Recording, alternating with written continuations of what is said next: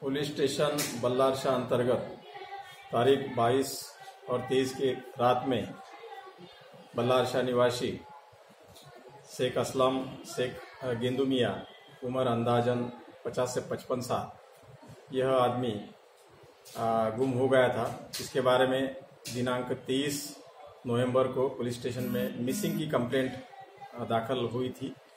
उसके ऊपर से हमने चौकसी चालू किया। और आज हमें ये पता चला है कि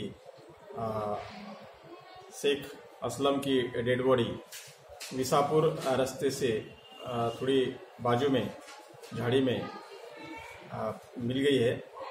तो वहाँ पर हमने हमारी डॉग यूनिट फॉरेंसिक एक्सपर्ट की टीम और बाकी जो हमारा पुलिस स्टाफ था, उसकी मदद से हमने पंचनामा किया है और शेख असलम इसका जो चेहरा है, वो तीन दिन से गायब होने की वजह से डिकम्पोज हो गया है और उसके जो बदन है बदन से थोड़ा खून भी निकल गया है और मांस भी निकल गया है।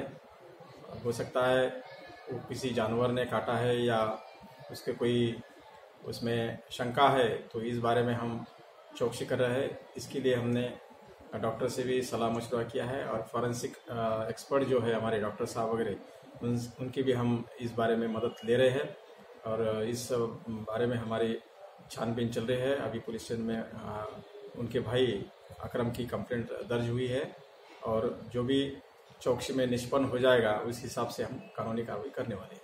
शुरुआती जाँच में ये मर्डर होने की बात कही जा रही है। नहीं बोल बोल नहीं सकते। जो भी है चौकसी में जो भी निष्पन्न हो जाएगा उस हिसाब से हम कार्रवाई करेंगे।